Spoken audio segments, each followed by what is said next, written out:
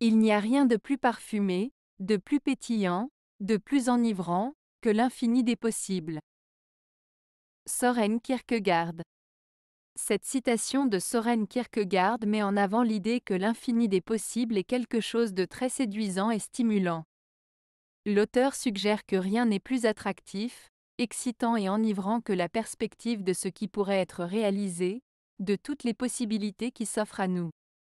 L'infini des possibles représente un champ illimité de choix, d'opportunités et de réalisations potentielles, qui peut susciter en nous des émotions intenses et stimulantes.